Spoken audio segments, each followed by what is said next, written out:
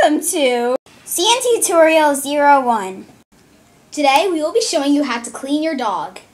This is Diesel, everyone. Hello, everyone. I'm Diesel. Oh, oh, oh. I'm about to get clean today. Oh, sorry. I'm kind of scared. I don't like baths. The first step is to take off the dog's leash or harness. This can be kind of tricky. Find a place where you can wash your dog, such as a bathtub. Or if your dog is small, you can use a sink. The materials you will need are A towel, Hartz dog shampoo that gets rid of fleas and ticks, and a sink clogger. Put your clog in the sink. Now, fill your sink up with warm water. This is the amount of water that you will need. Now place your dog in the water. Now run some water over your dog to get him wet.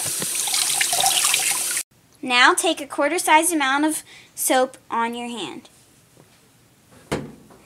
and put it on your dog. Keep rubbing it on your dog until you see lots of bubbles. Soon after a few minutes of rubbing, then you can rinse.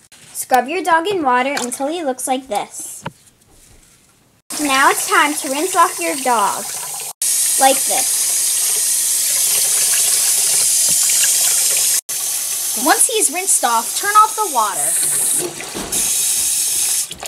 Take him out of the water. Wrap Place- your dog warmly in a towel. Oh dog shake. Now reward your dog with a small treat.